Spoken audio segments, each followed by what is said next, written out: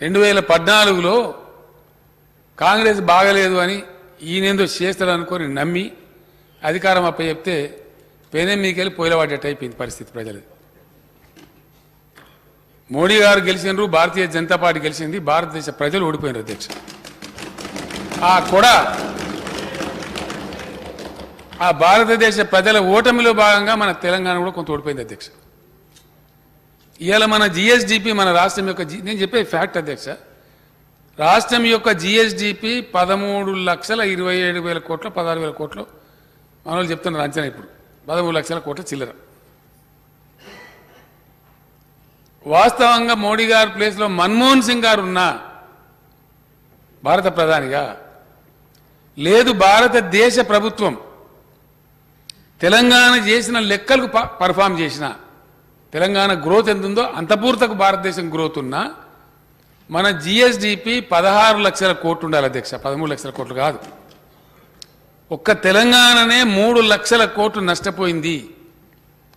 నేను ఇది కావాలని స్పెసిఫిక్గా చెప్తున్నా. I wanted to be on the record of the house భవిష్యత్ తరాలకు తెలవాలి కాబట్టి ఈ శాసనసభ ఈ పవిత్ర దేవాలయంలో ఒక రికార్డులలో ఉండాలి కాబట్టి చెప్తున్నా అధ్యక్ష. ఈ కంపారిటివ్ స్టడీ ఎందుకంటే అధ్యక్ష ప్రతి రంగంలో డౌన్ అయింది. మన్మోహన్ సింగ్ గారు ఉన్నప్పటికీ మోడీ గారు హయాం పోల్చుకుంటే ఘోరాతి ఘోరంగా దేశం దెబ్బతిన్నది. నష్టపోయింది.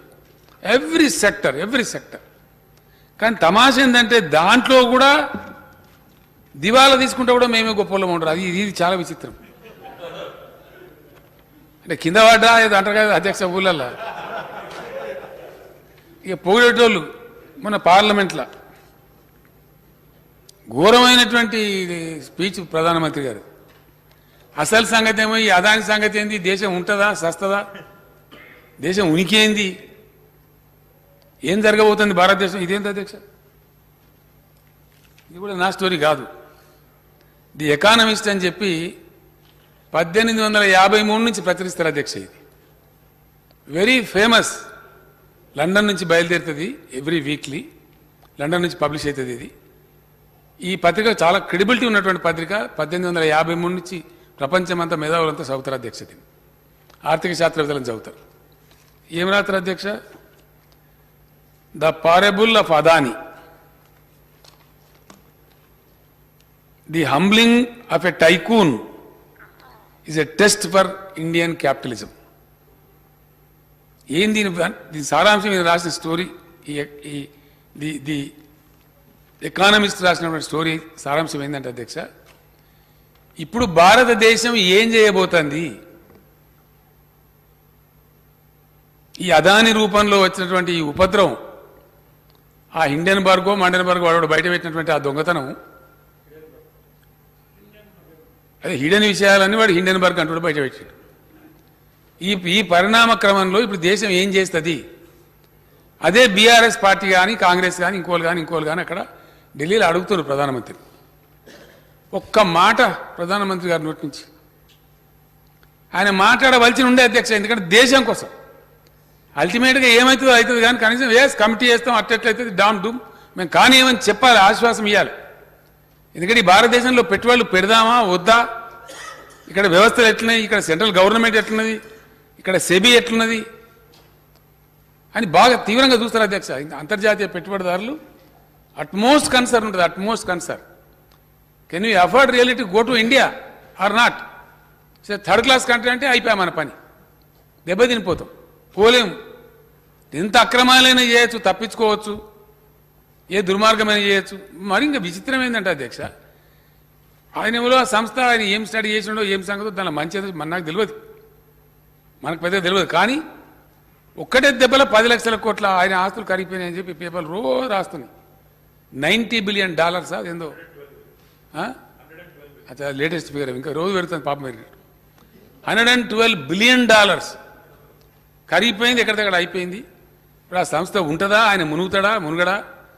మరి అందులో ఆయన ఆయన పెట్టిన కంపెనీలు ఎన్నో కంపెనీలు ఉన్నాయట అవి. అందులో మన దగ్గర కూడా పెడతాను వచ్చిన మనం బతికిపోయినాం.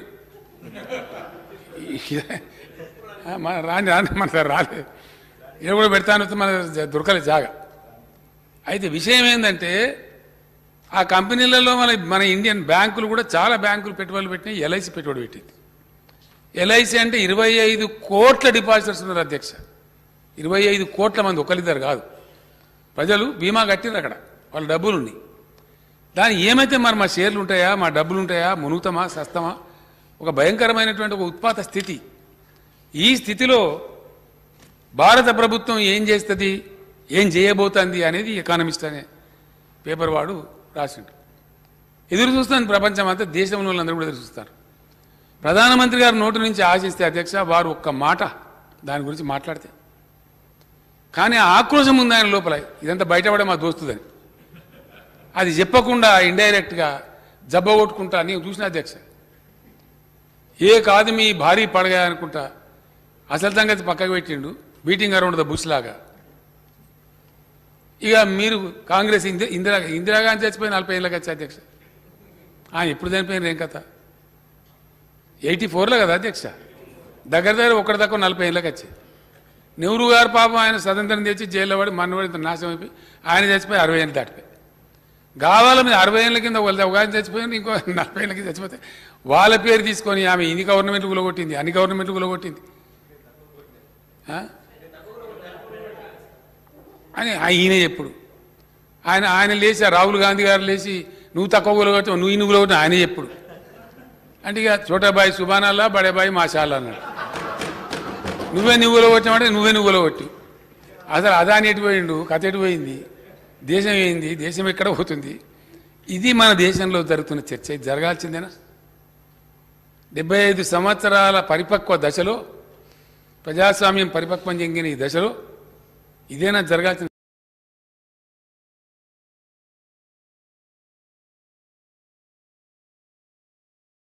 భవిష్యత్తు కూడా మంచిది కాదు. మరి దీనికి అంతమేందో ఎట్లా పోతుందో? The most disgusting speech by the honourable prime minister of India most disgusting ఒక సభలో కాకపోతే ఇంకో సభలో మంచిగా మారితే నేను కూడా ఆస్తిని చూసిన అధ్యక్ష.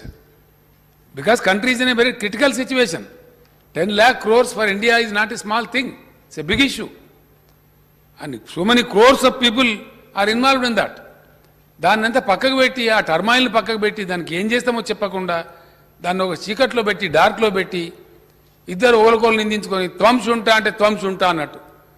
నువ్వు నాకన్నా పెద్దసి ఉంటావు నువ్వు నీకన్నా పెద్దసి ఉంటావు నువ్వే నీ గవర్నమెంట్ కూలొట్టావు నిన్నేను గవర్న ఇది ఇదే అధ్యక్ష. ఇది జరగడం దురదృష్టకరం. ఈ మార్పు అయితే తప్పకుండా రావాలి అధ్యక్ష. ఈ పరిణతి చెంద రావాల్సినటువంటి అక్కడైతే ఉన్నది. లేకపోతే దేశానికి ఏ రకంగా కూడా మేలు జరగదు.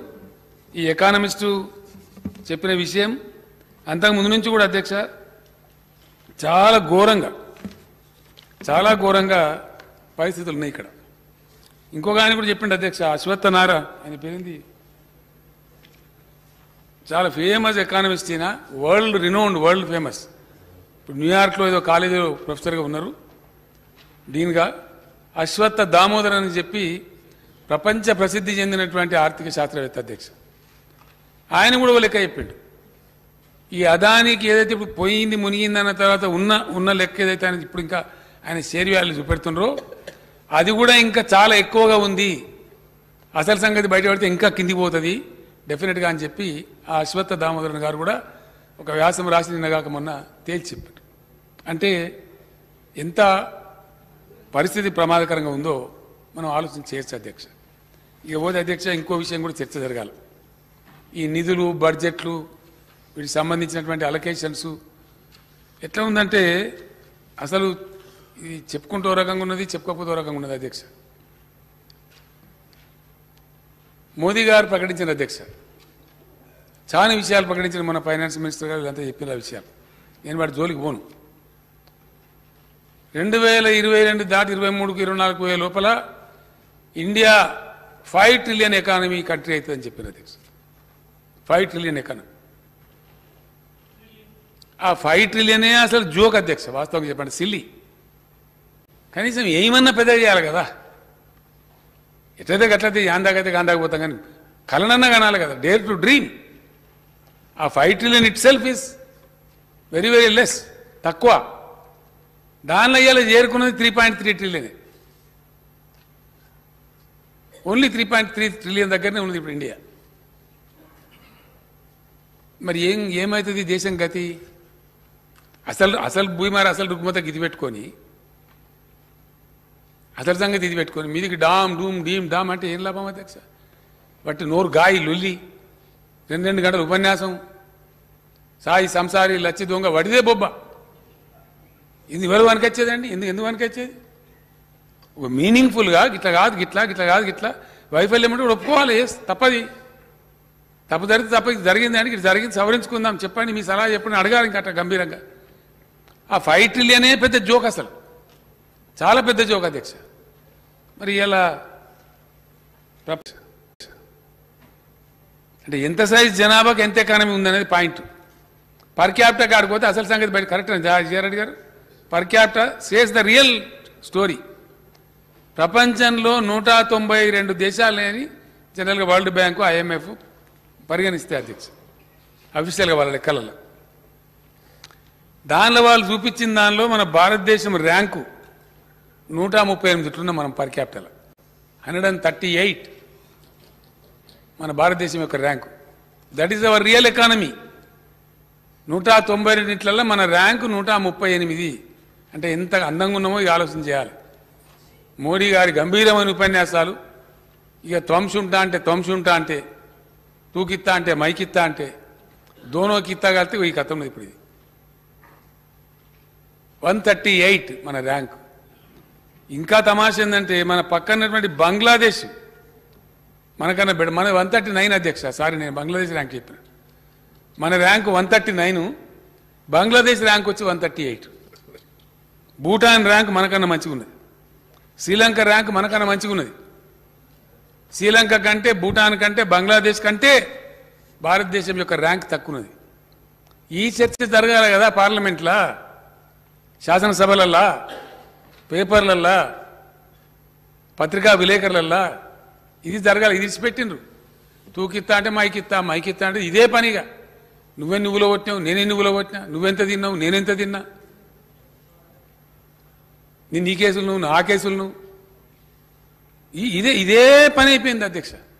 దయచేసి నేను అనేది ఏంటంటే ఈరోజు మనం ఈ- ఈ విషయాలు చర్చించకుండా సీరియస్గా తీసుకోకుండా ప్రజాప్రతినిధులుగా ఉన్న వాళ్ళము లెజిస్లేటర్స్గా శాసనకర్తలుగా ఉన్నవాళ్ళము ఒక రకమైనటువంటి వల్గార్టి వైపు శాసనసభలను పార్లమెంట్లను తీసుకెళ్ళి జబ్బాలు దర్శి ఆడ గంభీరమైన మాటలు చెప్పి ఎదుటి వాళ్ళని కించపరిచి మాట్లాడనీయకుండా చేసి ఇంకోటి ఏంటంటే అధ్యక్ష బుల్డోజింగ్. అట్లా చేయడం అందరు చేయగలుగుతారు కదా అధ్యక్ష? నిన్న పార్లమెంట్ జరుగుతుంటే ఒక ఒక ఆమె ఉన్నది మా పేరు ఉన్నది. మహువా అని ఒక అమ్మాయి పాపం గట్టిగా మాట్లాడుతూ ఉన్నట్టు మాట్లాడుతుంది ఆయన మాట్లాడుతుంటే మొత్తం లేచి లొల్లి పెడుతుంటారు అరే ఇదేం లొల్లి ఏం సంగతి అంటుంటే ఏదో మాట్లాడుతుంటే పెద్ద లొల్లి. పక్క నుంచి పొగుడుతున్నారు ఆయన. మోడీ గారు. ఆ పొగడానికి కూడా ఒక అంతం ఆధారం ఉంటుంది అధ్యక్ష. దానికి సందర్భము ఒక పద్ధతి అనేది ఉండాలి. మరీ అంత ఎక్కసంగా పొగిడితే కూడా గలీజ్ అవుతుంది లేని దాన్ని పొగిడితే ఎట్లా అధ్యక్ష? చేసి మంచి పని చేసాం నాలుగు ముచ్చట మంచి చెప్పినట్టు వేరే సంగతి కానీ. అయిన దాన్ని కాని దాన్ని పొగిడి ఆయన అతను కూడా పాపం ఆగమైపోతుంది నిజమైన గొప్ప అనుకుంటారు పాపం. ఆ ప్రమాదం ఉంటుంది. అది జరుగుతుంది అధ్యక్ష. ఆ మాట్లాడుతుంటే ఒక మాట రాగానే మోడీ మోడీ మోడీ అనే సభ్యులు పార్లమెంట్ సభ్యులతో తల్లి పెడుతున్నారు బుల్డోజ్ చేశాను మాట్లాడలేకుండా ఒక సందర్భంలో ఈ సందర్భంలో తమను అనుమతిస్తే ఒక ఒక ఉదాహరణ ఉంది అధ్యక్ష మంచి ఉదాహరణ ఉంది. ఈ మధ్యనే మిత్రుడు కవి మిత్రుడు దేశభక్తి శ్రీనివాసం కొంతమంది సాహిత్యకారులు కూర్చుంటే చర్చ చేసి కూడా కూర్చున్నాం. ఒక కవి గారికి పాపం ఒక సందర్భంలో బాధ వచ్చి పడుతుంది అధ్యక్ష. ఒక రాజు ఉంటాడు. ఆ రాజు పేరు తిరుమల రాయుడు అని. ఆయన ఒకటే కన్ను ఉంటుంది పాపం. ఆయన మనసులో బాధ ఉంటుంది. ఒక కన్ను ఉన్నమాట వాస్తవం ఒకటి లే- అంగవైకల్యం ఉంది పాపం. ఏం చేయాలి? భగవంతుడు అంతే ఇచ్చాడు. ఆయనకు బాధ ఉంటుంది. కానీ అందరూ ఏం చెప్తారు? ఈ ఈ కవి కూడా చిన్న బాధ ఉంటుంది. అరే నువ్వు రాజుగారి దగ్గర మంచి బహుమానం పొందాను అంటే జర పొగడాలరా భయ్ నేను ఒక కన్ను కాలిపోయింది కానీ అట్లా అయినా పొగడాలరా భయ్? ఎట్లనే చేసి నువ్వు పొగుడు? ఆయన సంతోషపెట్టు నువ్వు సంతోషపెడితే నీకు మంచి లాభం దొరుకుతుంది అని చెప్తారు అధ్యక్ష. అప్పుడు ఆయన మజబూరిగా పాపం ఏం చేయాలి ఆయనకు అవసరం ఉంది కాబట్టి ఇష్టం మనసులో లేకపోయినా చెప్తాడు. అన్నాతి గూడి హరుడవు. అన్నాతిని గూడనప్పుడు అసుర గురుండవు. అన్నా తిరుమల రాయ కన్నొక్కడే లేదు కానీ కౌరవపతివే. అంటే అన్నాతి అంటే వైఫ్ అధ్యక్ష ధర్మపతి మీ యొక్క భార్యతో ఉన్నప్పుడు నువ్వు తక్కువ మనిషి వాడిని మనకేం తక్కువ నీకు ఒక్కగానే కన్నా ఎందుకు రద్దు పడతావు ఒకటి ఉంటే ఉన్నది కానీ నీ భార్యతో కూర్చున్నప్పుడు నువ్వు హరుడ అంటే శివునికి మూడు కళ్ళు అవుతున్నాయి మీ. ఆమె రెండు నీది ఒకటి కలిస్తే మూడు కళ్ళు. కాబట్టి నువ్వు శివునికి సమానం. తక్కువ నాకు నువ్వెందుకు తక్కువ అవుతావా నాకు కానే కావు. నువ్వు కన్ను లేదని అసలు ఫికరే చేయకు నువ్వు అన్నట్టుగా. అన్నాతి కూడి హరుడు వాడు నీ భార్య నువ్వు ఉన్నప్పుడు ఆమె రెండు నీది ఒకటి కలిస్తే మూడు కలిస్తే శివుని నువ్వు. అన్నాతిని కూడినప్పుడు అసుర ఉండవు అసురులు అంటే రాక్షసులు అధ్యక్ష వాళ్ళకి ఫేమస్ గురువు ఉంటాడు శుక్రాచార్యుడు అని చెప్పి. ఆయన చాలా ఫేమస్ టెర్రర్ భయపడతారు అందరు. ఇక్కడ గురువే రాక్షసులకు కాబట్టి ఆయన కన్ను తెరిస్తే బాగుండదని ఆ శుక్రాచార్యంతో కూడా వాళ్ళు పంచాయతీ పెట్టుకోరు. కాబట్టి ఆయన కూడా పెద్ద ఫేమస్ మనిషి. ఆయనను గూడనప్పుడు నువ్వు అసుర గురుడు అంటే ఒకటే కన్ను ఉంటుంది కాబట్టి ఆ శుక్రాచార్య వారికి ఒకటే కన్ను ఉంటుంది అధ్యక్ష. అప్పుడు కూడా నువ్వు శుక్రాచార్య అంతటివి అది కూడా లేదనుకో ఇక. ఏం చెప్తాడు?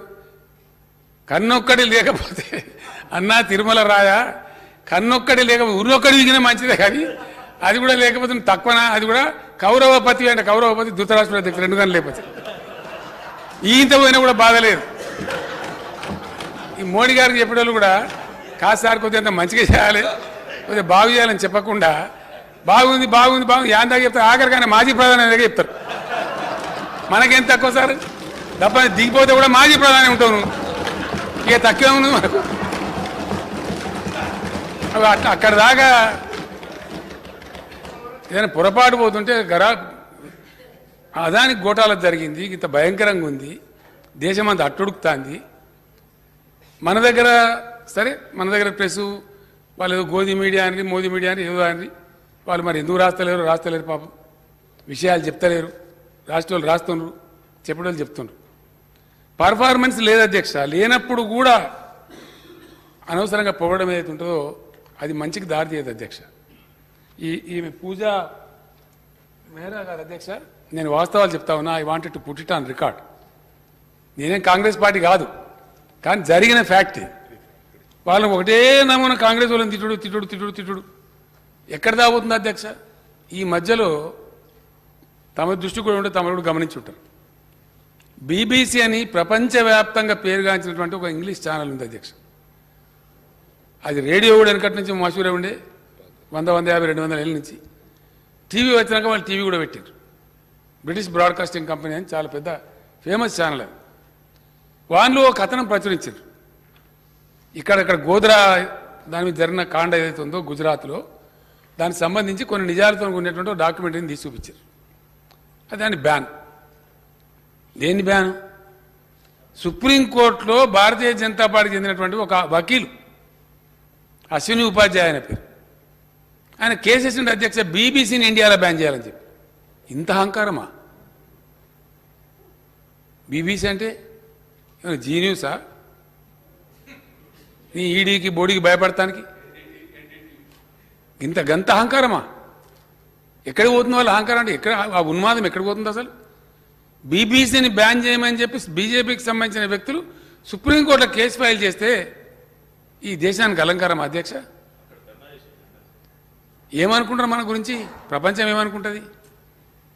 ఇంత ఇంటాలరెన్సా ఇంత ఇంత అసహన వైఖరా? ఇది ప్రజాస్వామ్యం గౌరవమేనా ఇది? ప్రజాస్వామ్యాన్ని గౌరవించే పద్ధతేనా? డెమోక్రాటిక్ లక్షణమేనా ఇది? ఏ రకంగా ఇది? ఎట్లా ఎట్లా ఎట్లా ఎట్లా ఎట్లా సాధ్యమవుతుంది అధ్యక్ష? ఏ విధంగా మంచిది అవుతుంది దయచేసి ఆలోచన చేయాలి. ప్రజాస్వామ్య ప్రియులు డెమోక్రసీ మెచ్యూరిటీని కోరుకునే వాళ్ళు సమాజ పురోగతిని కోరుకునే వాళ్ళు అది జరుగుతాయండి మానవ సహజం తప్పు మనుషులన్న తర్వాత కొన్ని తప్పులు జరిగితే ఒప్పుకోవాలి. సిన్సియర్గా ఒప్పుకోవాలి.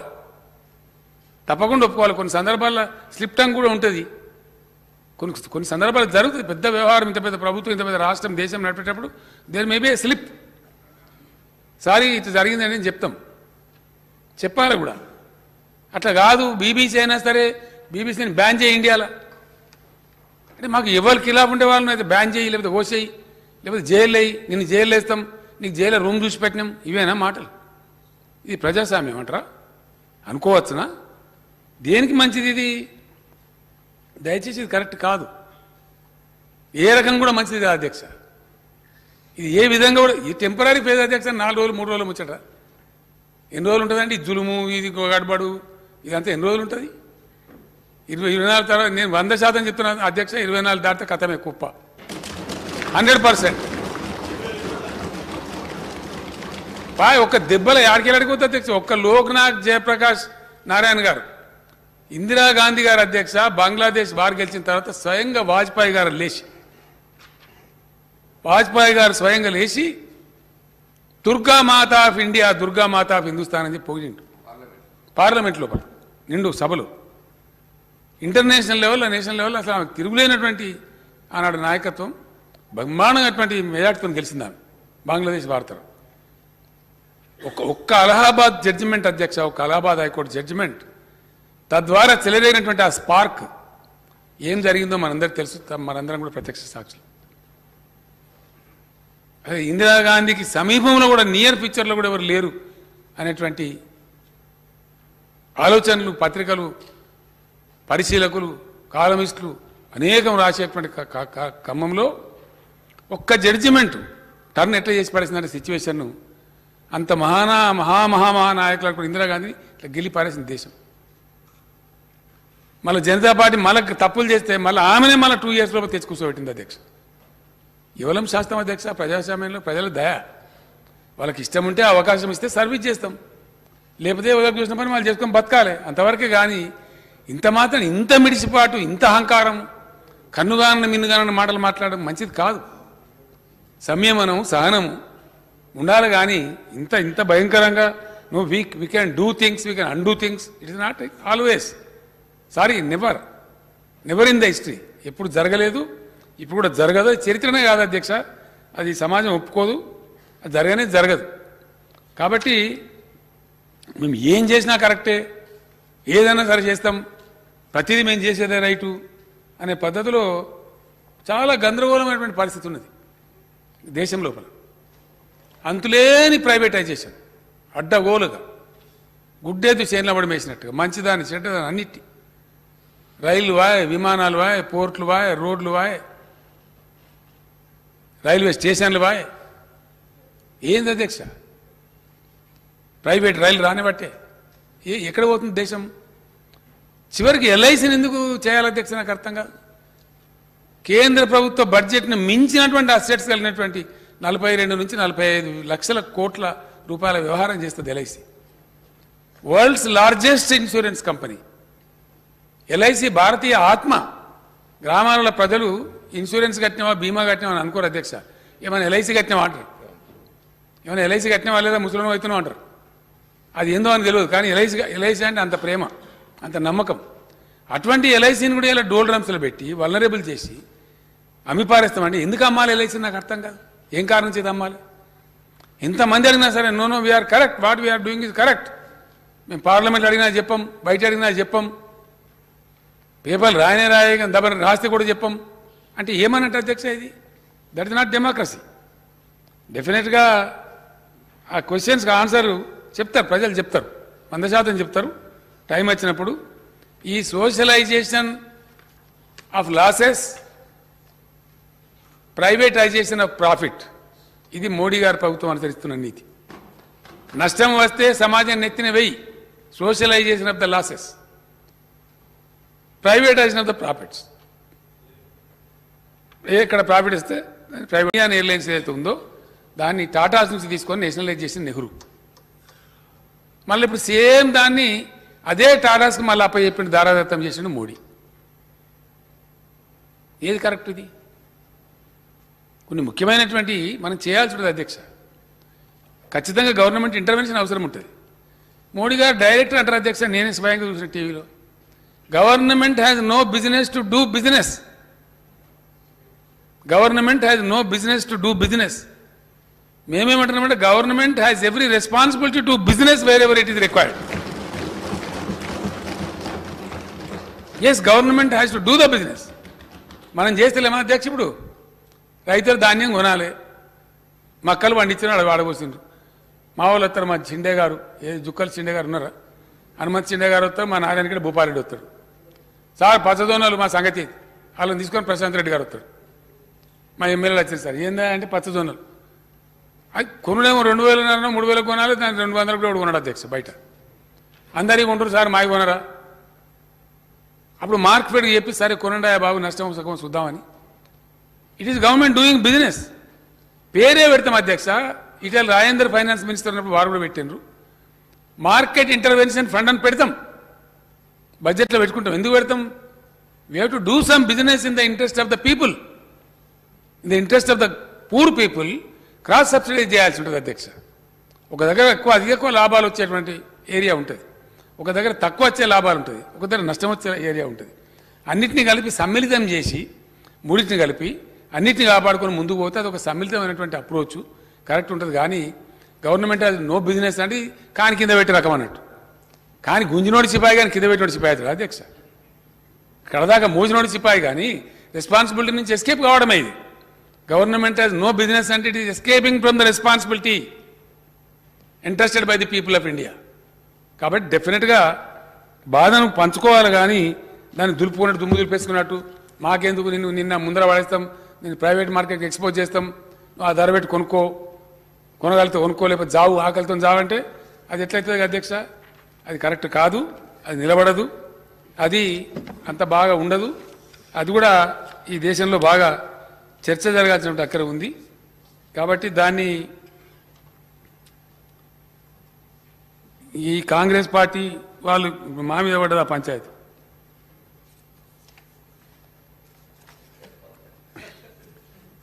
ఎందుకు ఈ అంటే బాధ వీళ్ళు గరీబోళ్ళు అధ్యక్ష. వాళ్ళు చేసింది కూడా వాళ్ళు చెప్పారు. మమ్మల్ని తిట్టు మొదలు పెట్టిన వాళ్ళు. కేసీఆర్ తిడితే మాకు రెండు నోట్లు వస్తే గీ గీ ముచ్చటపోతాను కానీ పది సంవత్సరాలండి నేను గ్యారంటీ చెప్తే ఇట్స్ నాట్ మై స్టోరీ నేను I shown the book also. Pooja Mehra అధ్యక్ష the book name is the lost decade. It's a clear cut debate on each and every aspect of central government of India. కరెక్ట్గా like to like comparison of Manmohan Singh government and Modi government. బొమ్మలు కూడా ఆమె అందుకే ఇద్దరు చేసింది అధ్యక్ష. మన్మోహన్ సింగ్ గారి బొమ్మ తమకు పంపిస్తే అధ్యక్ష చూడండి. తర్వాత మోడీ గారు బొమ్మ వేసింది అధ్యక్ష. ఎక్కడ ఏ ఒక్క రంగంలోనన్నా మోడీ గారి హయాంలో వృద్ధి రేటు ఉందా అధ్యక్ష? లోబడి కావడం తప్ప మీది ఖర్చులనే ముచ్చటనే లేదు. ఏ ఒక్క ఆస్పెక్ట్లో కానీ no single aspect she exhaustively research the whole thing and put it before the nation as a book Congress పరిపాలనలో వార్షిక వృద్ధి రేటు అధ్యక్ష. Annual growth rate six point eight percent ఉండే. బీజేపీ హయాంలో రెండు వేల పద్నాలుగు నుంచి ఇరవై మూడు వరకు ఫైవ్ పాయింట్ ఫైవ్కి వచ్చింది అధ్యక్ష. ఇది పెరుగుదలనా? తరుగుదలనా? మరి ఈ కాంగ్రెస్ వాళ్ళు ఏమో అంతులేని భావదారిద్రం దానికి సమాధానమే చెప్పారు అధ్యక్ష? ఇప్పుడు మా మీద పడది బాధ. విషయం ఏంటంటే ఈ విషయం చెప్తాను లేరు అతను మాట్లాడతలేరు. పార్లమెంట్లో కూడా మాట్లాడతలేరు.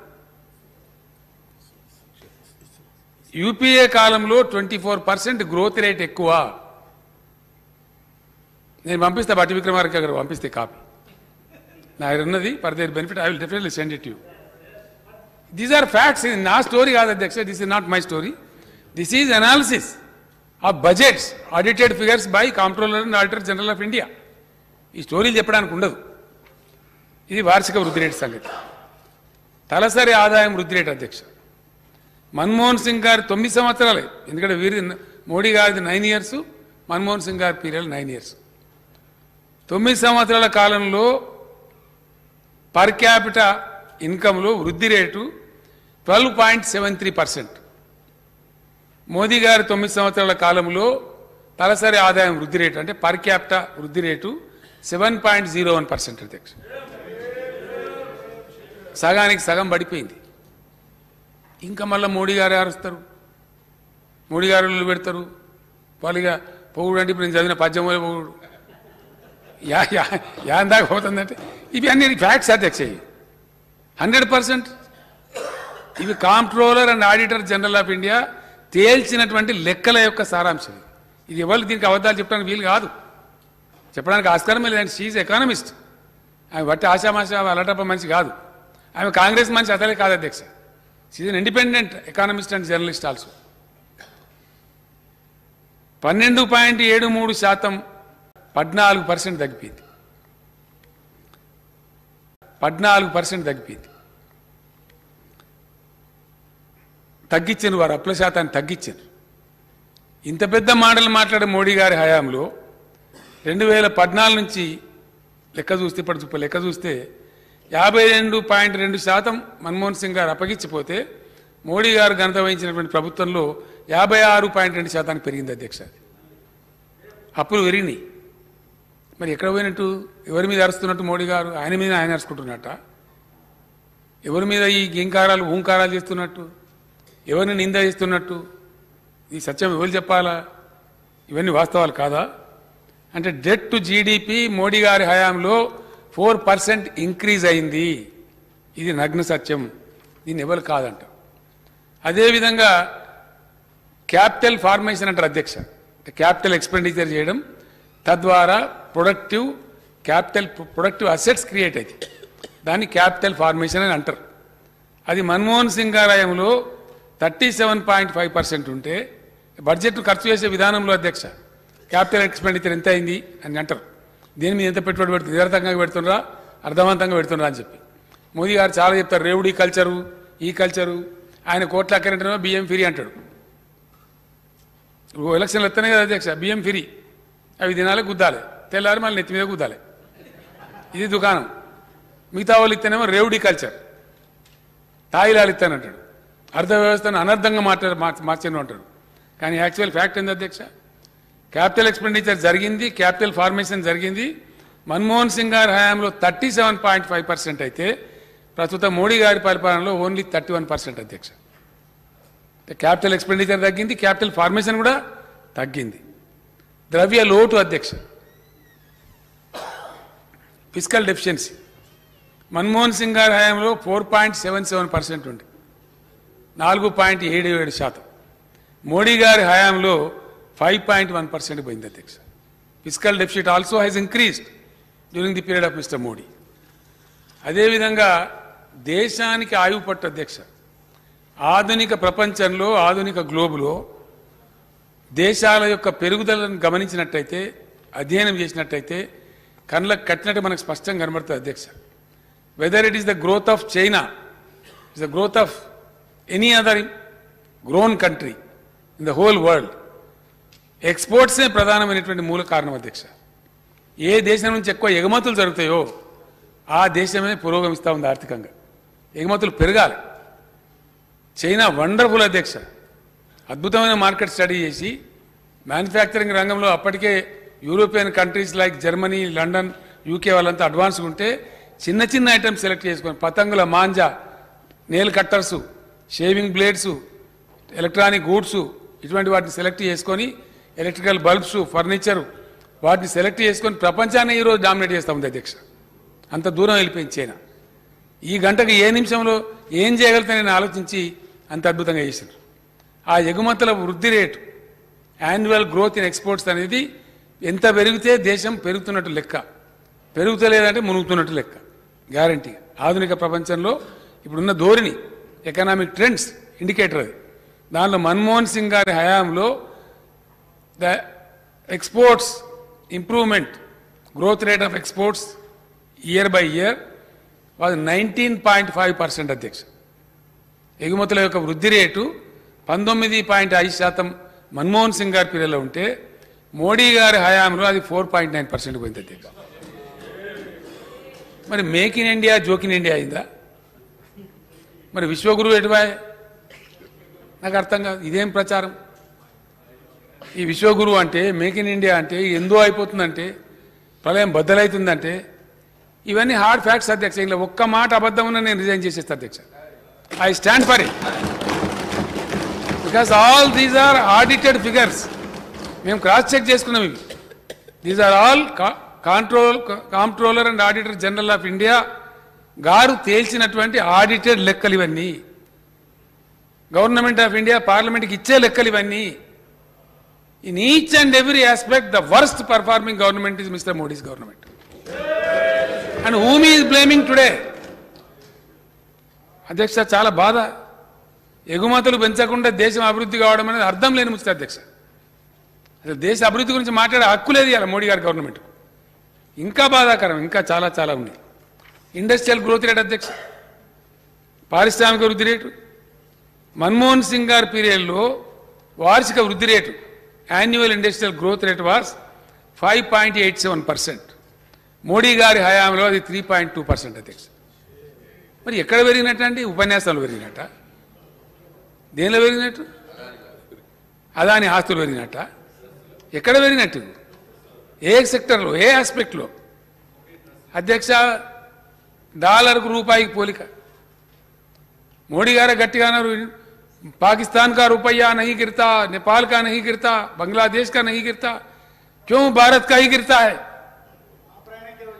अब सबसे ज्यादा आप ही के हयाम में the worst ever fall of rupee in the period of Mr Modi only whole world knows it ఇది కూడా నేను చెప్పేది కాదు అధ్యక్ష- అధ్యక్ష అప్పుడు మోడీ గారు ఉన్నప్పుడు యాభై ఎనిమిది రూపాయలు ఉండే యాభై ఎనిమిది పాయింట్ ఆరు రూపాయలు ఉండే మా సారీ మన మన్మోహన్ సింగ్ గారు ఉన్నప్పుడు మోడీ గారి హయాంలో ఇప్పుడు అది ఎనభై రెండు పాయింట్ ఆరు రూపాయలు అధ్యక్ష మరి ఎక్కడ ఎక్కడెక్కడి నుంచి ఎక్కడ పోయినట్టు అసలు రూపాయిగా ఉందా? వంద కూడా దాటిపోతూ ఉంటుంది ఇంకా. ట్వంటీ ఫోర్ రూపీస్ పడిపోయింది అధ్యక్ష. వారి పీరియడ్ వీరి పీరియడ్ కంపేర్ చేస్తే. ఇది ఎట్లుందంటే నాకు మాకు నోరు ఉంది గాయ చేస్తాం కాబట్టి లొల్లు పెడతాం కాబట్టి మేము ఎటు పడితే అడగోలు మాట్లాడతాం కాబట్టి మందబలం ఉంది కాబట్టి ఏదైనా సరే చేస్తాం కాబట్టి అని చాలా మాటలు మాట్లాడతారు. ఆ ఎకానమిస్ట్ ఆయన రాసిండు అధ్యక్ష. ఏం తేడా లేదు దొందు దొందే. వెలుకులు ఇద్దరు ముంచుతారేమో ఇండియాను కాంగ్రెస్ ముంచింది. ఆశించిన రీతిలో వాళ్ళు చేయలేదు. ఇక అంతకన్నా ఈయన ఇంకా ఘోరం ఉన్నది. అప్పుడు లైసెన్స్ రాజు ఉండే ఇప్పుడు సైలెన్స్ రాజు ఉందని రాసిండు అధ్యక్ష బిల్కుల్. కాంగ్రెస్ గవర్నమెంట్లో లైసెన్స్ రాజ్. ఈయన గవర్నమెంట్ ఏం మాట్లాడగా అన్ని జరిగిపోతాయి. సైలెన్స్ రాజ్. ఏం మాట్లాడకుండానే అదాని దగ్గర మదాని దగ్గర అంబానీ దగ్గర లక్షల లక్షల కోట్లు ఎన్పిఎల పేరు మీద పద్నాలుగు లక్షల కోట్లు మాఫీలు. దాంతో ఏం ఉరిగిందో ఏం జరిగిందో ఏమైనా తెలియదు ఇరవై లక్షల కోట్లు ఎంఎస్ఎంఈలకు చేసినామని చెప్తే ఎవరికి ఇచ్చినరో ఏం సంగతో భగవంతుని ఎరగ అధ్యక్ష ఎవరికి తెలియదు. పారిశ్రామిక మంత్రులు కానీ ఇంకోటి కానీ ఇంకోటి కానీ ఏ సదస్సులు అడిగినా no answer. No data available NDA. Chidambaram గారు చెప్పారు. పార్లమెంట్లో పార్లమెంట్ మెంబర్లు మన పార్టీ బీఆర్ఎస్ పార్టీలు అడిగారు అధ్యక్ష. నో డేటా అవైలబుల్ ఏ విషయంలో కూడా? కరోనాలో ఎంతమంది చచ్చిపోయినా నో డేటా అవైలబుల్ ఏది అడుగు? ఇంపార్టెంట్ ఏది అడుగు? ఎన్డీఏ దట్ ఈజ్ ఎన్డీఏ దీన్ని ఏమనాలా? దీనికి మళ్ళీ ఇంకా దీనికి ఈ ఈ చక్కదనానికి వచ్చి ఈ గొప్పతనానికి ఈ సాధించిన సా- సాధించిన దానికి ఏ- ఎంత అవమానకరమైన అంటే నిజంగా అధ్యక్ష చాలా బాధ అనిపిస్తుంది ఇంత పెద్ద సువిశాల భారతదేశం యొక్క ఆర్థిక శాఖ మంత్రి వచ్చి కామారెడ్డికి పోయి ఒక రేషన్ షాప్ కాడ ప్రధానమంత్రి ఫోటోలు ఏదైనా కొట్లాడు ఆ డీలర్ గారితో కొట్లాడితే ఆ డీలర్తో పాపం ఆడేం చేయాలి పెట్టాన్నా సావన్నా బతకన్నా డీలర్తో దేశ ఆర్థిక మంత్రి కొట్లాడతారు అధ్యక్ష? మా కాన్స్టిట్యూన్సీ దగ్గర కూడానా బా అచ్చా వారికి అచ్చా మీ కాన్స్టిట్యున్సీని బీడ్కూర్ తమరి కాన్స్టిట్యున్సీని బాన్స్వాడలు వచ్చి రేషన్ షాప్ డీలర్ను ఆర్థిక దేశ ఆర్థిక మంత్రి. వాడు ఎక్కడ రావాలి? ఏం కథ పాపం. ఆడ సింధువులో బిందు అంత మంచి పాపం డీలర్. నువ్వు పెడతావా బేసిరెన్ బిడ్డని పెట్టకపోతే నీ సంగతి చూస్తా? ఇదా? ఏం సాధించిందని ఏం గొప్పతనం చేసిందని మోడీ గారు ఫోటో పెట్టుకోవాలి అధ్యక్ష? దేనికోసం పెట్టుకోవాలి? ఎంత అన్యాయం అంటే చాలా బాధ అనిపిస్తుంది అధ్యక్ష. చాలా అంటే చాలా. మెడికల్ కాలేజీలు మేము అడిగితే ఇయ్యలే ఆమె గిరిజన మంత్రి గారు సత్యవతి రాథోడ్ గారు నాలుగు మాటలు ఆరు మాటలు పోయొచ్చింది మూడు వందల ఎకరాల జాగా ఆ జాకారం కన్నా నేను ఇచ్చింది ములు కాడ. హ్యాండ్ ఓవర్ చేసి ఐదేళ్ళు అయిపోయింది ఇవాళకి తిరిగిండ్రు. చెప్ బాధ కలిగితే ఏంటంటే దయచేసి నేను వేరే ఉద్దేశంతో చెప్తలేను సార్ దయచేసి. బాధ ఎక్కడ కలుగుతుంది? జాగా ఇచ్చిండ్రు అది రాజేందర్ గారు కూడా తెలుసు. అన్ని ఇచ్చిండ్రు అయిపోయింది. పార్లమెంట్లో క్వశ్చన్ అడుగుతారు మన మెంబర్లు. అక్కడ మహిబాద్ ఎంపీ గారిని కొంతమంది ఏమైంది ఇట్లా బీవీ పాటిల్ గారు అంత అడిగారు క్వశ్చన్స్ అడిగారు. ఏమైంది మా ట్రైబల్ యూనివర్సిటీ మాకు చట్టం ప్రకారం రావాలి అని అంటే మీ రాష్ట్ర ప్రభుత్వం సమాచారం ఇవ్వాలి ఇంతగానో అధ్వానం ఉంటుంది అధ్యక్ష. అబద్ధం అని అంటేనేమో మీరు ఇప్పుడు రికార్డులు తీసేస్తారు. ఇంత సత్యదూరంగా ప్రవర్తించచ్చునా మాట్లాడచ్చునా? ఇంత ఇంత ఇంత అన్యాయం ఉంటుందా? మెడికల్ కాలేజ్ ఇవ్వకపోతే ఇవ్వకపోతే ఆ పుణ్యం మీకే దక్కని. రికార్డు ఉండిపోతారు మీరు.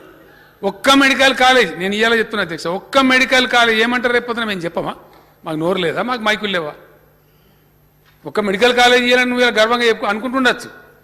ఒక్క మెడికల్ కాలేజీ ఇయ్యని భారతీయ జనతా పార్టీ ప్రభుత్వానికి ఒక్క ఓటు ఎందుకు వేయాలి తెలంగాణలో?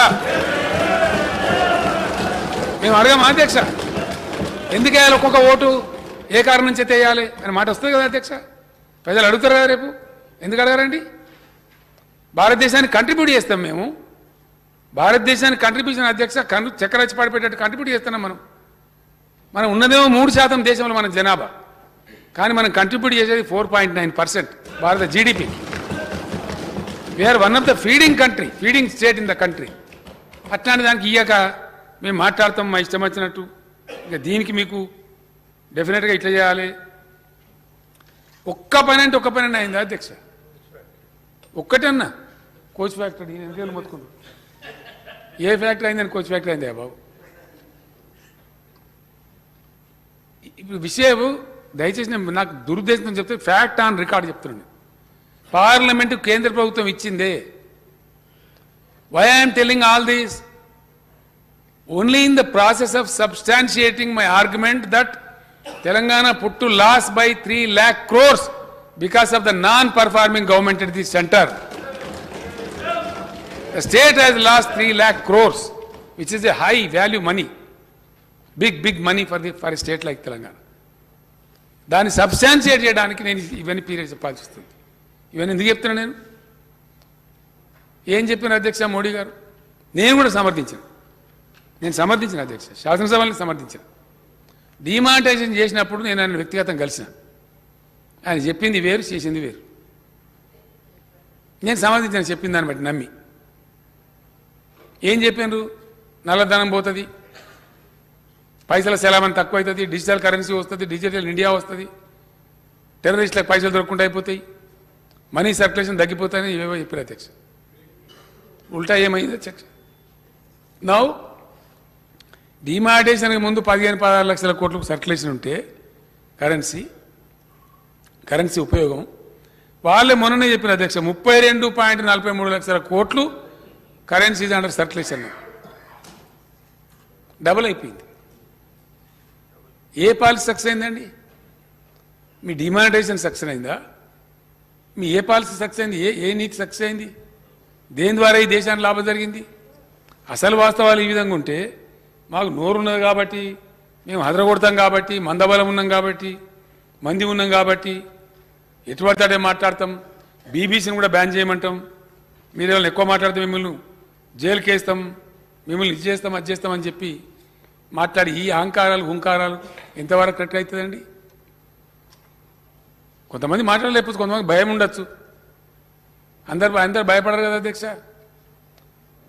చివరికి అధ్యక్ష దేశంలో ఇన్ఫ్రాస్ట్రక్చర్ దయచేసి ఆలోచన చేయాలి. వెరీ పూర్ ఇన్ఫ్రాస్ట్రక్చర్ అదాన్ని ఇంప్రూవ్ అవుతుందా? అది కూడా కాదు. ఏంది అధ్యక్ష? ఒకసారి చూస్తే ఎంత వీక్ ఉన్నాం మనం మన దేశం. ఏం చేస్తాం? నూట తొంభై మూడు కిలోమీటర్ల అధ్యక్ష సింగపూర్ దేశం యొక్క చుట్టుకొలత. The perimeter of Singapore is only one ninety three kilometres that country has only one single port ఒకటే ఒక పోర్ట్ ఉంది. మనదేమో ఏడున్నర నుంచి ఎనిమిది వేల కిలోమీటర్ల coast line number of ports in India number of ports huge ports చెప్పుకుంటే బాధ అధ్యక్ష సింగపూరు చైనా హ్యాండిల్ చేసే కంటైనర్ చైనా దేశం two ten million containers to two forty million containers ప్రయాణం Singapore one with one single port thirty seven point three million containers India twenty point point point seven kilometres ఒక్క port ఉన్న Singapore కన్నా కూడా నామోసుకుంటామా ఉంటామా మనం Paradip port Krishnapatnam port Machilipatnam port Mumbai port. Madras port ఎన్ని పోర్ట్లు? ఎన్ని వేల కిలోమీటర్ల coast coast line what is happening in this country ఎక్కడ మనం ఎప్పుడు క్యాచ్ అవుతాం ఎప్పుడు విశ్వగురువు అవుతాము ఎప్పుడు అవుతాము గూడ్స్ ట్రైన్ స్పీడ్ అధ్యక్ష. సరుకులు కానీ బొగ్గు కానీ ఇతరత్ర అనేక మౌలిక వసతులు మౌలిక రంగాలకు సరిపడేటువంటి ముఖ్యమైనటువంటి సరుకులు రవాణా చేసే గూడ్స్ గూడ్స్ రైళ్ళ యొక్క వేగం average speed of truck goods trains చైనాలో గూడ్స్ ట్రైన్ స్పీడ్ వచ్చే average one twenty kilometres per hour ఆస్ట్రేలియాలో ఎనభై కిలోమీటర్లు పర్ అవర్ అమెరికాలో డెబ్బై ఎనిమిది కిలోమీటర్లు పర్ అవర్ ఇంగ్లాండ్లో డెబ్బై ఐదు కిలోమీటర్లు పర్ అవర్ జర్మనీలో అరవై కిలోమీటర్లు పర్ అవర్ ఇండియాలో ఇరవై నాలుగు కిలోమీటర్లు పర్ అవర్ ఇదా దేశం. ఇది ఫ్యాక్ట్ కాదా? ఇంకా ఈ గొప్పతనానికి అధ్యక్ష చెప్పుకుంటే సిగ్గు అవుతుంది. ఒక్కటే ఒక రైలు వందే భారత్ అని పెట్టిరు అంతకుముందు శతాబ్ది అని ఇదని అదని ఎన్నో వందల రకాల రైలు రాజధాని ఎక్స్ప్రెస్ అని చాలా ఇంట్రొడ్యూస్ అని ఎప్పుడు కూడా ప్రధానమంత్రులు రైలు ఇనాగరేషన్ చేయాలి అధ్యక్ష. రైళ్ళు ఇనాగరేషన్లు చేయరు. ఎప్పుడైనా అకేషన్ ఉంటే చేస్తారు సందర్భం కానీ పని కట్టుకొని వచ్చి చేయరు అధ్యక్ష. ఒక వందే భారత్ రైలు అని పెడితే దానికి బరే గుద్దుకున్న పచ్చడి పచ్చడి అవుతుంది. అదేం కర్మ? ఆ దాని మీద ప్రేమను? దాని సంగతి ఎంత అర్థమవుతుంది కానీ అనేక పర్యాలు జరుగుతూ ఉంది ఎందుకు జరుగుతుందో అర్థం కాదు. దానికి ఆ గొప్పతనానికి ఎన్నిసార్లు ప్రారంభిస్తారు అధ్యక్ష వందే భారత్ రైలును ప్రధానమంత్రి? నేను లెక్క పెడతా ఉన్నా ఇప్పటికి పద్నాలుగు సార్లు అయింది. ఇంతకన్నా ఘోరం ఉంటుందా? ఇంతకన్నా అన్యాలమా?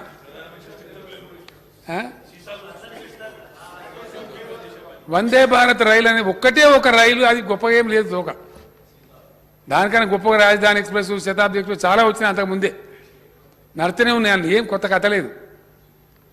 దానికి పద్నాలుగు సార్లు చేసి మల్లమున్న హైదరాబాద్కి వస్తారు ప్రధానమంత్రి అని చెప్పారు.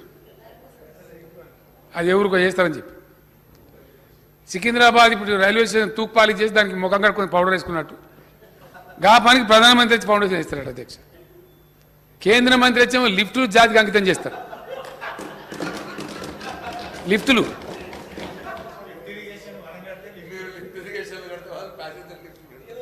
ఈయన అధ్యక్ష? మనిషి లెక్కే లిఫ్ట్ ఉంటుంది అధ్యక్ష? లిఫ్టులు అన్నాడు జాతికి అంకితం చేశారట. కేంద్ర కేబినెట్ మంత్రి. ఇదే ఇదే పద్ధతి. ఇది దేశాన్ని నడిపే బాధ్యత. దేశం అంటే దాని ప్రొఫైల్ ఎట్లుండాలి? ఎక్స్పోర్ట్స్ మీద ఎంత చర్చ ఉండాలి? ఎంత మదనం ఉండాలి? ఎంత మేధస్సు కలిగించాలి? ఇవన్నీ వాస్తవాలు. అధ్యక్ష ట్రక్ స్పీడు. అంతర్జాతీయంగా అమెరికాలో ninety five to one fifteen kilometres per hour పోతుంది అధ్యక్ష. ఇండియాలో యాభై ఐదు కిలోమీటర్లు పోతుంది అధ్యక్ష. కడమలంతా తొంభై ఐదు ఎనభై ఎనభై ఎనభై సది సది మన దగ్గర ఇట్లా. రైల్వే స్టేషన్లు కంజెషన్. రైల్వే ట్రాక్లు congestion. National highways congestion. ఎయిర్పోర్ట్లు congestion. ఢిల్లీకి పోతే అప్పుడు మన కర్మానికి నలభై నిమిషాలు ముప్పై నిమిషాలు తిరగాలి గాలి. కంజెషన్ దొరకది. ఇట్లా ఇన్ఫ్రాస్ట్రక్చర్ పెరగదు. ఎక్స్పోర్టు పెరగదు. ఇండస్ట్రియల్ గ్రోత్ పెరగదు. నిరుద్యోగం పెరుగుతుంది. అన్ని రంగాలలో దేశం కుప్పగూలుతుంది అయినా కానీ బజావ్ బజావ్ చలో డోల్ బజావ్. అయినా కూడా బజావ్. జో బజాయ్ టీకా నైతో దేఖ్ ఇదేం పద్ధతి అధ్యక్ష? ఇక్కడ వస్తాయి అంటే ఇది ఏ రకంగా కూడా కరెక్ట్ కాదు. ఇంకా నేను ఏమంటున్నాను దయచేసి అన్నిటిని మించి ఒకటి ఉంటుంది అధ్యక్ష. చాలా ముఖ్యమైన పాయింట్ ఇది కూడా చాలా సీరియస్గా ఆలోచించాల్సిన పాయింట్ జనాభా లెక్కలు. Why Modi government is not undertaking census అధ్యక్ష? What is the reason Modi ప్రభుత్వం జనాభా గణన ఎందుకు చేపట్టడం లేదు? Why what is the reason behind it the process of census in India has begun way back in the year nineteen seventy eighteen seventy one the first census of India was declared from 87 eighteen seventy one to eighteen eighty one that is the decadal అంటే ఒక దశాబ్ ఒక దశాబ్దానికి సంబంధించినటువంటి census నూట నలభై సంవత్సరాలుగా right from eighteen eighty seventy one to now two thousand eleven వరకు ఏ ఒక్కసారి కూడా నూట నలభై సంవత్సరాలలో జనాభా గణన ఆగలేదు అధ్యక్ష. Because it's such an important input ఎట్లా? రెండుసార్లు ప్రపంచ యుద్ధాలు వచ్చినాయి అధ్యక్ష. Two times two world wars first world war and second world war came in between in these one forty years కానీ జనాభా గణన ఆపలేదు. దానికి ఉండే ప్రాధాన్యత దృష్ట్యా? దానికి ఉండే అత్యవసరమైనటువంటి ప్రాధాన్యత దృష్ట్యా? అది వస్తే కదా అధ్యక్ష తెలిసేది లెక్క మంచి చెడ్డ ఇల్లు నోడేవాడు గొంగడు నోడేవాడు గోచు నోడేవాడు దేశం యొక్క ఏ పరిస్థితి ఏంది? ప్రజల పరిస్థితి ఏంది? తెలుస్తుంది కదా? అది తెలిస్తే మా బండారం బయటపడతాను వీళ్ళ బాధ. ఎందుకు? లేకపోతే ఎందుకు దాచిపెడుతున్నాండి ఇలా బీసీ కులాల వాళ్ళు అడుగుతున్నారు. కులగణన చేయాలి మా కులం గణించాలి. ఎందుకు గణించారు మీరు? Why what is stopping you ఇలా ఎస్సీ పిల్లలు అడుగుతున్నారు. ఎందుకంటే ఎస్సీల పర్సెంట్ ఎప్పుడు జమానాలో ఫిక్స్ అయింది ఫిఫ్టీన్ పర్సెంట్ అన్నారు.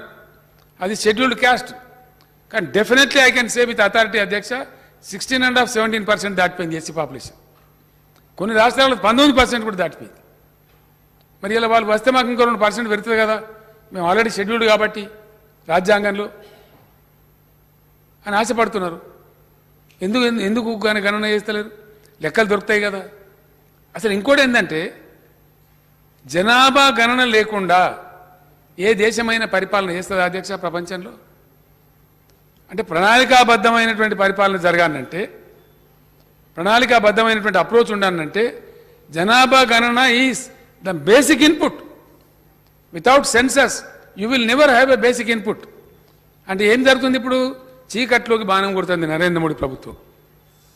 లెక్క లేదు ఆచారం లేదు. మేము మునిగిందే గంగ మేము చెప్పిందే లెక్క మేము మాట్లాడిందే మాట. కొడక ఇంటే ఇన్నవు లేకపోతే చంపేస్తాం. అంతేనా? ఇది భారతదేశాన్ని నడిపే పద్ధత? ఇదేనా వ్యవహారం? డెమోక్రటిక్ అప్రోచా ఇది కూడా దయచేసి ప్రజలు ఆలోచన చేయాలి ఈ విషయాలు చర్చ జరగాలి ప్రతి అసెంబ్లీలో పార్లమెంట్లో వై ద మోడీ గవర్నమెంట్ ఇది not undertaking the census which is supposed to be the basic input for the planning of the whole country why it is being denied क्या मतलब है इसमें दाल में जरूर कुछ काला है ये भी सोचने की बात है ఇది లేదు ఇంకా అధ్యక్ష రెండు మూడు విషయాలు చెప్పానంటే బాధ కలిగేది. ఇప్పుడు మా రాజేందర్ గారు మాట్లాడి వీళ్ళకి ఎట్లున్నదంటే మాది ఎక్కడేం దొరకదు అధ్యక్ష. పాపం చాలా ప్రయత్నం ఉన్నదని దొరకలేదు. ఏమన్నా కింద దొరికించుకొని బదనాం చేయాలి. గీ కాకపోతే గది. నీళ్ళు గోదావరి నీళ్ళు ఎస్ఆర్ఎస్పీకి లిఫ్ట్ పెట్టి మహారాష్ట్రకి ఇస్తాను. ఇది పలాందను యుద్ధాలు చేసినామని మాట్లాడుతాను అధ్యక్ష the very fact in this country most unfortunately దురదృష్టవశాత్తు ప్రజలను ప్రజాప్రతినిధులను అందరినీ డార్క్లో పెట్టింది government of India both parties Congress and BJP అతనికంటే గరుడు ఆచంట మల్లన్న అన్నట్టు వీళ్ళు ఒకళ్ళ నుంచి ఒకళ్ళ అధ్యక్ష కాంగ్రెస్ అండ్ బీజేపీ దొందు దొందే. ఒక్క నెహ్రూ గారు ఇంతకుముందు బట్టి విక్రమార్క గారు అన్నారు ఆ విషయంలో వారిని అంగీకరిస్తా నేను. నెహ్రూ గారు ప్రారంభ దశలో ఆయన పాపం జైళ్ళలో పడి కష్టపడి కొట్లాడి కుటుంబాన్ని నాశనం చేసుకొని త్యాగం చేసి జీవితం నాశనం చేసుకొని దేశం కోసం కొట్లాడాడు. కాబట్టి ఆ తపన ఉండే మనిషిలో అందువల్ల ఆయన వార్షిక ప్రణాళిక పంచవార్షిక ప్రణాళిక దేశానికి ఒక దారి దిక్కు ఓ ప్లానింగ్ ఓ ఫైండింగ్ ఫాదర్ కాబట్టి ఆయన మీద బాధ్యత ఉండే కాబట్టి ఆ పని చేసి ఆ రోజు ఆఫీసర్లు కూడా అటువంటి కమిటెడ్ ఆఫీసర్లు ఉండ్రి. ప్లానింగ్ డిపార్ట్మెంట్ అంటే ప్లానింగ్ కమిషన్ ఆఫ్ ఇండియా అంటే గొప్ప గొప్పలు ఉండ్రి అధ్యక్ష చేసిండ్రు వారు ఆయన తర్వాత ఆగమైంది ఇండియా అంటే ఈ రోజు వరకు మళ్ళీ కోలుకుంటలేదు అధ్యక్ష. ఈ రోజు వరకు మళ్ళీ రాలే. నేను ఒక్క మాట్లాడతా అధ్యక్ష దయచేసి నన్ను అపార్థం చేసుకోవద్దు. మొన్న మిత్రుడు ఒక మిత్రుడు పెద్ద సీనియర్ జర్నలిస్ట్ వెళ్తే ఢిల్లీలో కూడా అడిగిన నేను. ఈరోజు భారతదేశం యొక్క లక్ష్యం ఏమిటి? ఈ దేశ లక్ష్యం ఏమిటి? ఉందా దేశానికి లక్ష్యం? లేదు మన లక్ష్యం కోల్పోయి బట్కాయిస్తున్నామా? గుమ్రా అయిపోయినామా? Where is very where are we travelling where the country is heading towards దేశానికి ఒక సామూహిక లక్ష్యం ఉండాలి కదా అధ్యక్ష. లక్ష్యం లేనటువంటి సమాజం లక్ష్యం లేనటువంటి దేశం ఎటువైపోతుంది ఎక్కడ చేరుకుంటుంది? Where it will land ultimately so what is the goal of India today లేదు. ఏమైనా చేయాలి? ఎన్నికలు గెలవడమే లక్ష్యం.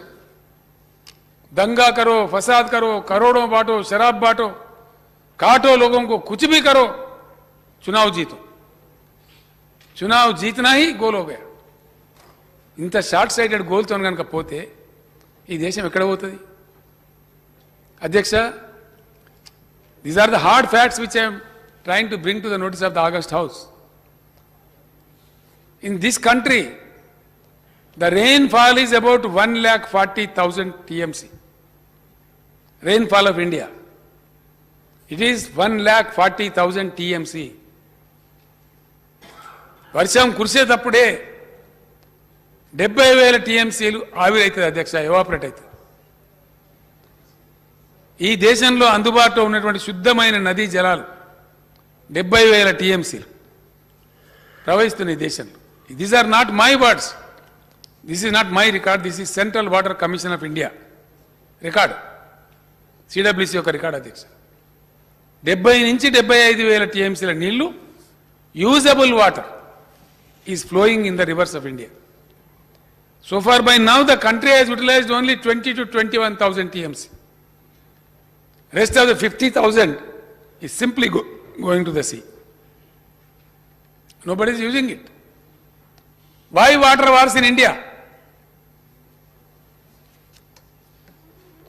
ఒక సట్లేజ్ రావి బియాస్ నదుల గురించి పంజాబ్ హర్యానా రాజస్థాన్ తనుకుంటా ఉంటాయి ఒక మహానది నీళ్ళ గురించి ఛత్తీస్గఢ్ మధ్యప్రదేశ్ తనుకొని సస్తా ఉంటుంది మహా వాళ్ళ పేరు ఒరిస్సా రాష్ట్రం తనుకొని సస్తా ఉంటాయి మూడు రాష్ట్రాలు.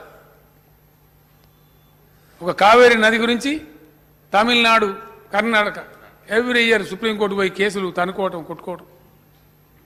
కృష్ణా గోదావరిల మీద మహారాష్ట్ర తెలంగాణ ఆంధ్ర మధ్యప్రదేశ్ వీళ్ళు రోజు కొట్లాట పొద్దున్న లేస్తే. బాబులి గీబిలియో ఓ ఒక అధ్యక్ష మన దేశ భూభాగం. ముప్పై రెండు లక్షల చిల్లర స్క్వేర్ కిలోమీటర్ ఉంటుంది అధ్యక్ష. దాని ఎకరాల్లో కనుక కొలిచినట్టయితే భారతదేశ భూభాగం ఎయిటీ త్రీ క్రోర్ ఎకర్స్ అధ్యక్ష. ఎనభై మూడు కోట్ల ఎకరాలు. ముప్పై రెండు లక్షల చిల్లర ఉంటుంది స్క్వేర్ కిలోమీటర్లు. అదే ఎకరాల్లో కనుక భారతదేశ భూభాగాన్ని కొలిస్తే కరెక్ట్గా దాని లెక్క ఎనభై మూడు కోట్ల ఎకరాలు. అమెరికా మనతో రెండున్నర టైమ్స్ పెద్ద ఉంటుంది అధ్యక్ష. కానీ అమెరికాలో ట్వంటీ నైన్ పర్సెంటే వ్యవసాయ అనుకూల భూమి ఉంది. చైనా మనకన్నా వన్ అండ్ హాఫ్ టైమ్స్ పెద్ద ఉంటుంది.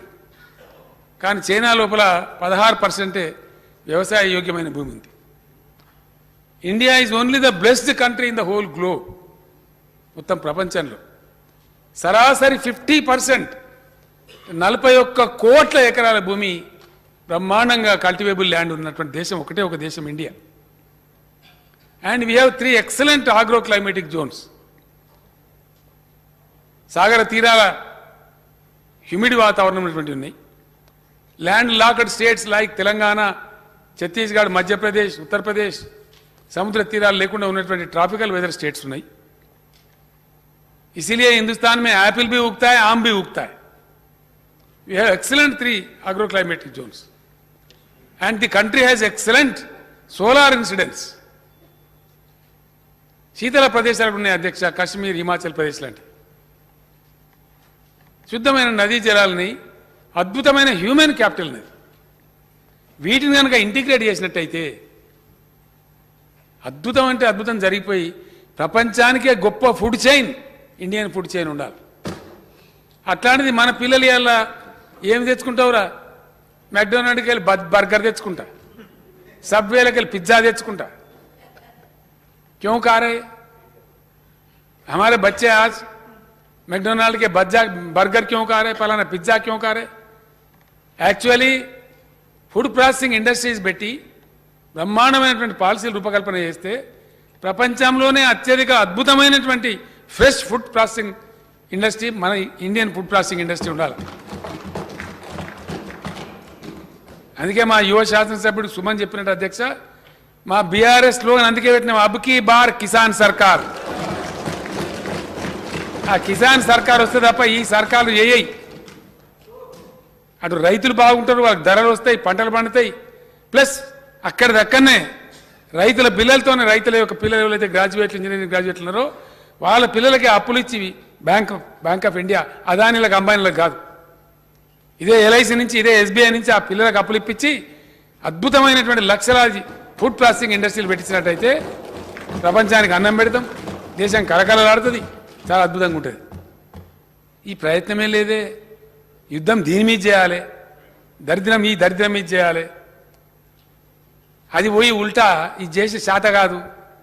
వడ్లు కొనుమని మన మంత్రులు పోతే ఈ జగదీశ్వరుడు పోయిండు. అందరూ పోయినరు? ఏడెనిమిది మంది మంత్రులు ప్రశాంత్ రెడ్డి అజయ్ గారు వీళ్ళంతా పోయిండు వడ్లు కొనన్నా బాగుంటే వడ్లు కొనము మీరు నూకలు తిను నేర్పులు ప్రజలు కొంటారు. ఇదా?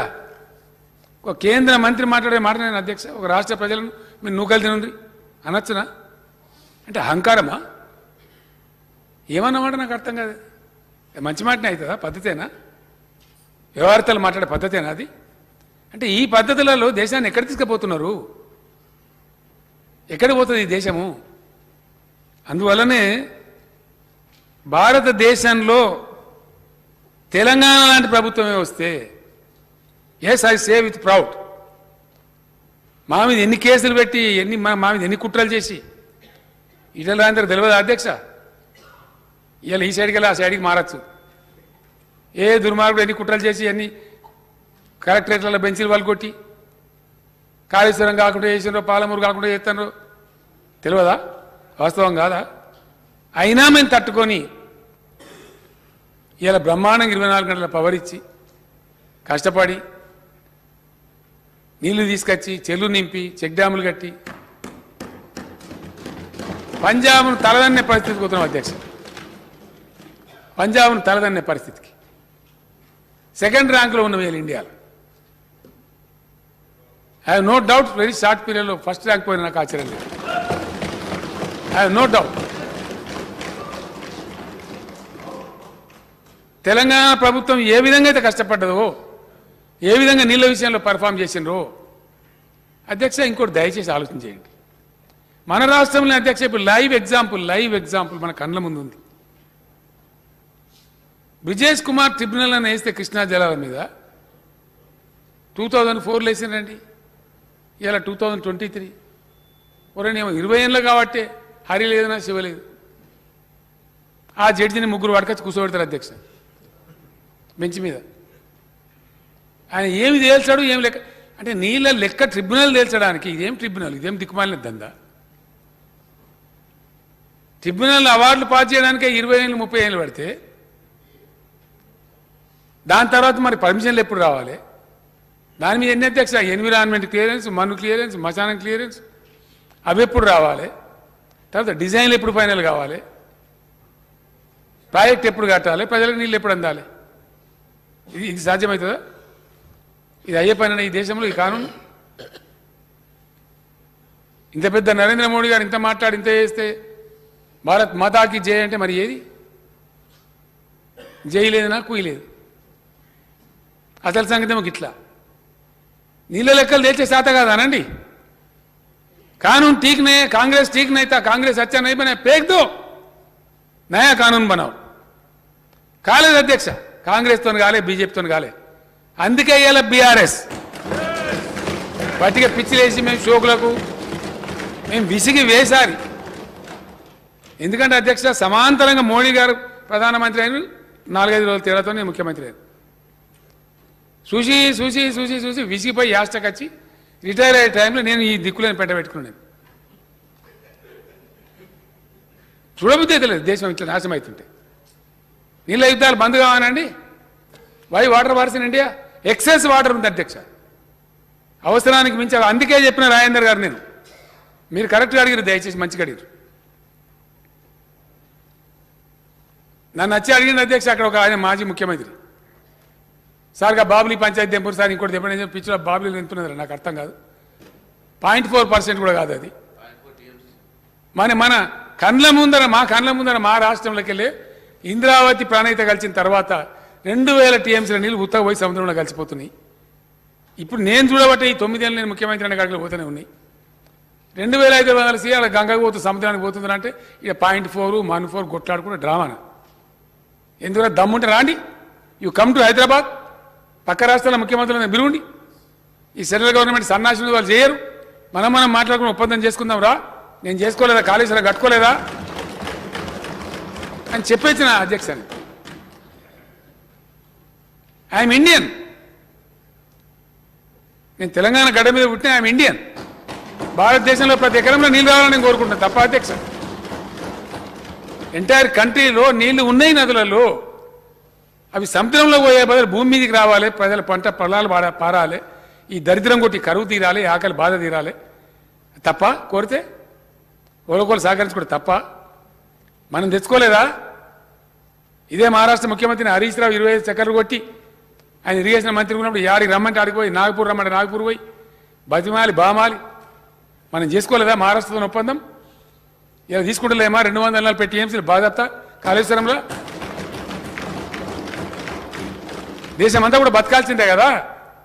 వృధాగా సముద్రానికి పోయే బదులు అధ్యక్ష నలభై వేల టీఎంసీలు ఇస్తే మొత్తం సుభిక్షం అయిపోతుంది దేశమంతా. No water wars in India అదేవిధంగా ఇంకో టెన్ థౌజండ్ టీఎంసీ డ్రింకింగ్ వాటర్కు పరిశ్రమలకు వాడితే కూడా ఇంకొక ఇరవై ఐదు ముప్పై వేల టీఎంసీలు సర్ప్లస్ ఉంటుంది. ఇండియాలో వాటర్ కొరతనే లేదు.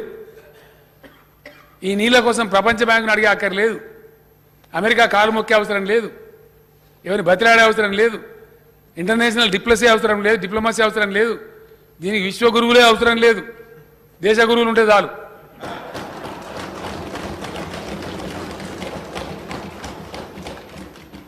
అందుకే భారత ప్రజలు మాకు విశ్వగురువులు విశ్వ గురువులు వద్దు దేశ గురువులు కావాలి మీరు బయలుదేరుతున్నారని మాకు చెప్తున్నారు. తమరు కూడా నవ్వు నవ్వుతుంది సార్. నేను నేను నేను చెప్పేది వాస్తవం వంద శాతం వాస్తవం. ఎందు అవుతుందంటే ఏం కాకపోతే ఏం లాభం అధ్యక్ష ఏం గురువు అయితే ఏం కాకపోతే నేను అయితే గురువు కానీ బతికనే మారతాను గురువు అయితే ఏం లాభం? నేను పని కావాలి. అధ్యక్ష రెండు ఉన్నాయి. రెండింటికి రెండు. మేము చేసి చూపిస్తాం అధ్యక్ష. అధ్యక్ష ఏదైనా చెప్పడానికి కూడా ఆత్మవిశ్వాసం కావాలి మనుషులకు. జోక్ లాగానే అనిపిస్తుంది అవుతుందా పోతా అనిపిస్తుంది. కానీ అవుతుంది వాక్శుద్ధి చిత్తశుద్ధి సంకల్ప శుద్ధి ఉంటే నిజంగానే ప్రజల మేలు కాంక్షించడం అయితే భగవంతుడు కూడా ఇస్తాడు అధ్యక్ష. ఒకనాడు నేను చెప్పిన ఇక అయిందేదో అయింది నేను ఇక పోతున్నా ఢిల్లీకి. ఆంధ్రప్రదేశ్కి రాష్ట్రంకి వెళ్ళి పోతున్నా తెలంగాణ రాష్ట్రంలోనే విమానం దిగుతా అని చెప్పిన అధ్యక్షుడు ఇక భగవంతుని దయ మీ అందరి సహకారం నా అదృష్టం. నేను చెప్పింది చెప్పినట్టు ఆంధ్రప్రదేశ్కి పోయిన తెలంగాణ రాష్ట్రంలో వచ్చిన అధ్యక్షుడు నేను గ్యారంటీగా చెప్తున్నా. ఈ దేశంలో ఇరిగేషన్ పాలసీ సమూలంగా తీసి బంగాళాఖాతంలో పారేసి new irrigation policy needs to be drafted అది కాంగ్రెస్ బీజేపీ చేయలేకపోయింది. ఖచ్చితంగా రేపు మా గవర్నమెంటే వస్తుంది మేము చేసి చూపిస్తాం వంద శాతం. ప్రతి ఎకరానికి నీళ్ళు ఇస్తాం మిషన్ భగీరథ లాగా భారతదేశ వ్యాప్తంగా ఐదారేళ్ళ లోపల ప్రతి ఇంటికి నల్లబెట్టి నీళ్ళు ఇస్తాం అధ్యక్ష. చేసి చూపిస్తాం. Hundred percent.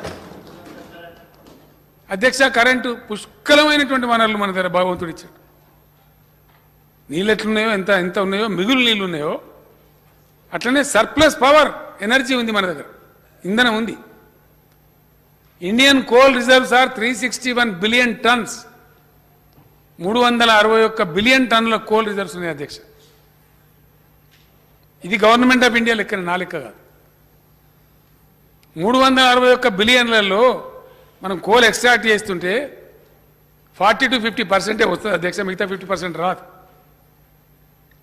ఎస్టిమేటెడ్ కోల్ ఎప్పుడు కూడా మన సింగరేణి గన్లలో కానీ ఇంకొకడ కానీ తీస్తున్నప్పుడు మనం తవ్వుతున్నప్పుడు ఫార్టీ ఫైవ్ టు ఫిఫ్టీ పర్సెంటే వస్తుంది.